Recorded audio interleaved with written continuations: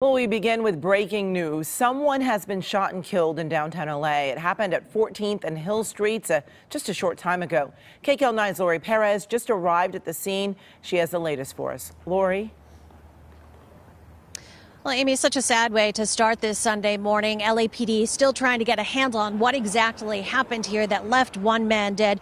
You can see behind me they have cordoned off the block of South Hill Street between West 14th and West 15th Streets. Officers on the streets looking for evidence.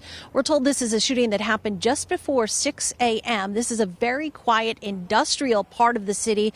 There's not much, if anything, that appears to be open around here in this early morning. There was almost no foot traffic at all this early though there is a fairly big homeless encampment not far from here and in the surrounding blocks. Investigators are still setting up at this point. In fact, if you take a look, you can probably see them still setting up uh, that white tent over a car, near a car with the door open. That tent usually indicates um, where the victim's body is as they set up for the coroner to arrive and, and do their investigation. We're told that police are reportedly looking for a suspect who talk, took off this morning after the shooting, possibly in a car car headed toward the 10 freeway.